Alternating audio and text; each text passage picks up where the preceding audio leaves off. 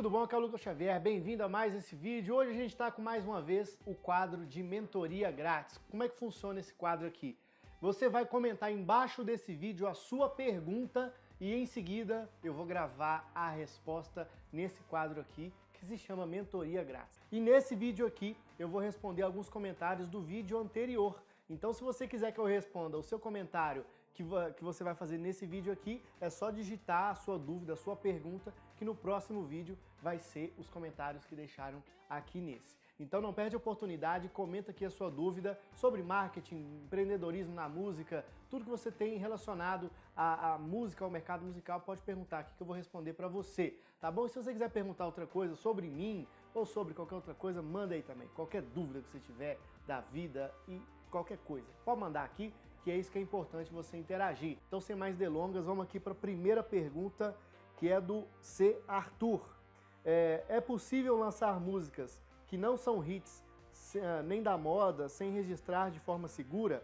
É possível vender? Bom, sua dúvida foi a seguinte: é possível lançar músicas sem registrar? Sim, você pode lançar qualquer música sem registrar. As pessoas registram músicas porque elas precisam de uma proteção contra os direitos autorais dela, para ninguém copiar. Quer dizer, a, a, na verdade, a proteção da música não impede ninguém de copiar. Só que você tendo o registro, você se garante na justiça caso você precise processar alguém, reivindicar os seus direitos. Então, primeira coisa, olha, você pode lançar qualquer música sem registrar, se você quiser correr o risco, pode lançar, não tem nada a ver. E o segundo ponto é que registrar uma música não vai impedir as pessoas de copiarem ela. A única coisa que vai acontecer é você poder reivindicar os seus direitos autorais. Próxima pergunta da Elisângela Alves. Para cantores iniciantes, qual é o melhor caminho uh, ah, para fazer o canal do YouTube bombar e conseguir a monetização? Para monetizar o seu canal do YouTube, você precisa de duas coisas: horas de visualização e inscritos. Precisa ter mais mil inscritos. Passou dos mil inscritos, aí você vai ter que ter mais de 4 mil horas de visualização. Como que você consegue 4 mil horas de visualização? Duas maneiras, muito vídeo e muita visualização. Se você não tem muita visualização, você pode postar muito vídeo. Pode ser que um deles dê mais visualização do que os outros, mas você vai ganhar na quantidade. Agora, se você quer realmente conseguir isso com o tempo, você vai ter que pegar vídeos que as pessoas estão pesquisando, que são covers, e usar bem as palavras-chave, usar bem as tags. É o que eu mostro detalhadamente no meu treinamento de YouTube para artistas. Mas em resumo, é você saber usar o algoritmo do YouTube para ele, o próprio YouTube, para ele mesmo divulgar a sua música. Como que você faz isso? Você tem que caprichar no seu cover, faz bem feito, de forma que as pessoas compartilhem de tão diferente que é o seu cover, de tão bom que ele é. Olha só onde é que ela tá, num cenário diferente, fazendo música de um jeito que me tocou, que me emocionou, e aí eu vou e compartilho. Agora, se você ficou fazendo mais do mesmo, só batendo violãozinho, ou então cantando no playback, dá para você chegar nos 4 mil pela quantidade, mas vai demorar um pouquinho mais. Então, para você conseguir isso aí de uma maneira rápida e com qualidade, é você investir na qualidade daquilo que você está fazendo. Detalhe, não é nada a ver com câmera, tá? Câmera pode ser uma câmera do seu celular mesmo. Agora, investir no ensaio, se preparar, vai lá e executa a música, configura direitinho e aí você vai fazendo isso duas vezes por semana, dois dias por semana, em pouco mais de dois meses você consegue aí a monetização do seu canal. E é uma ótima fonte de renda extra para você, tá?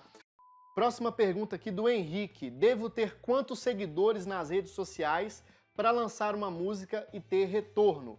Olha, para você lançar uma música e ter retorno, você pode até lançar sem seguidor nenhum. Só que você vai precisar investir em anúncio, né? Patrocinar no Instagram, patrocinar no YouTube, patrocinar no Facebook, onde mais você tiver orçamento para isso. Então você tem duas vertentes, né? Você anunciar a sua música para o seu público que você já tem né? Se você tem 100 mil seguidores, 10 mil, 20 mil, você lança para eles, mostra para eles sua música, ou se você não tem, você vai ter que pagar para divulgar. Agora, lançar música sem você ter orçamento e sem você ter público, não dá. Então você vai lançar, vai jogar na internet e aquela música vai ficar lá, esperando alguém lembrar que você existe, talvez ouvir sua música. Isso não existe.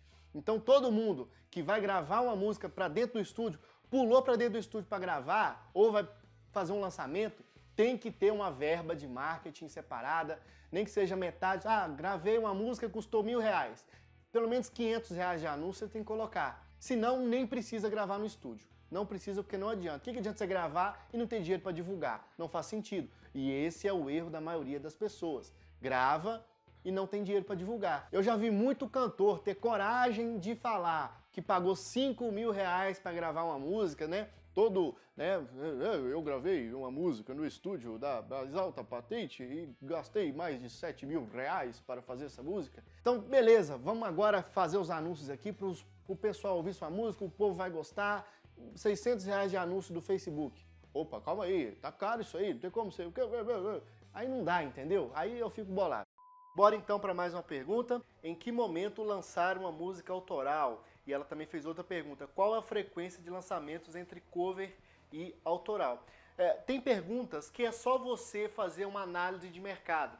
É isso que eu ensino lá no meu primeiro módulo do meu curso de marketing musical, que é o verbo entender que é você entender e pesquisar o seu mercado.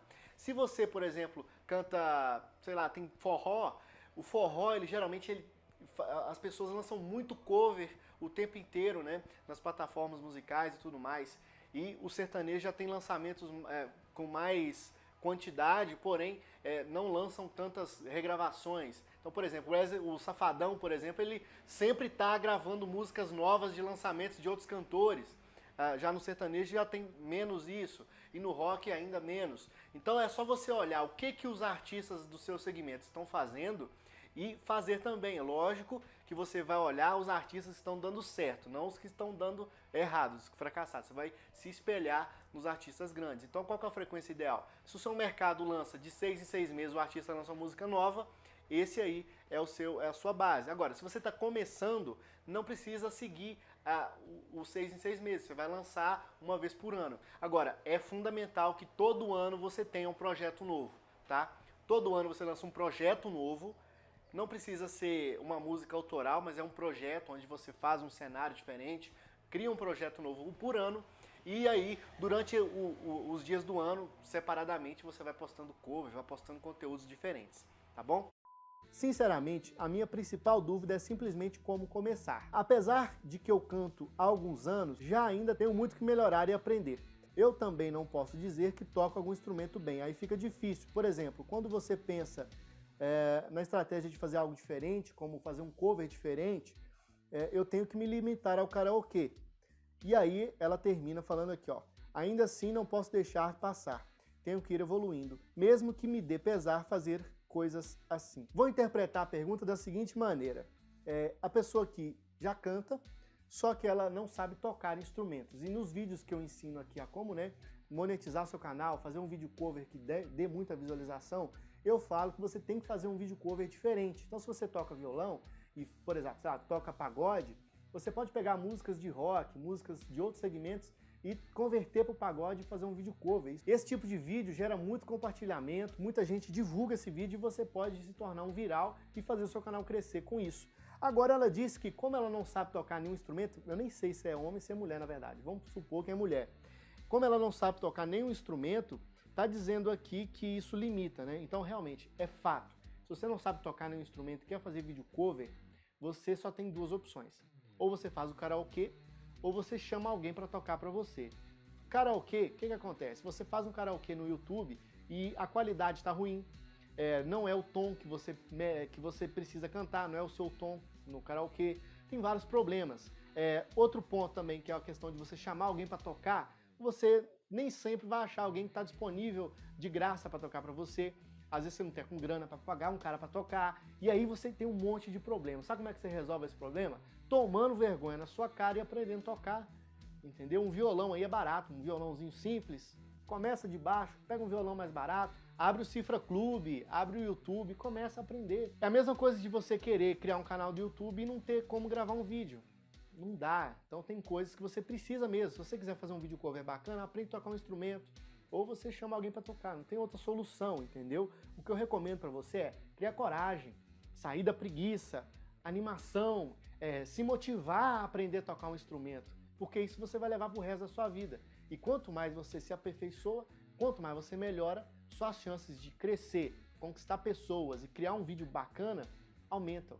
Então é realmente tomar vergonha na cara, arregaçar as mangas e aprender a tocar um instrumento. Não tem atalho, tá bom? Espero que eu tenha te ajudado aí e se anima, vamos aprender isso aí.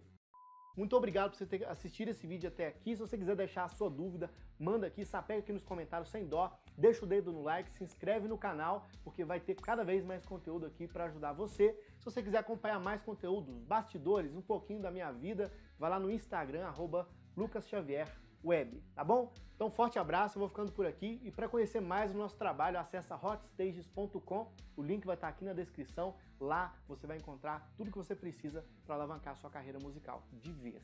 Forte abraço, tamo junto, valeu!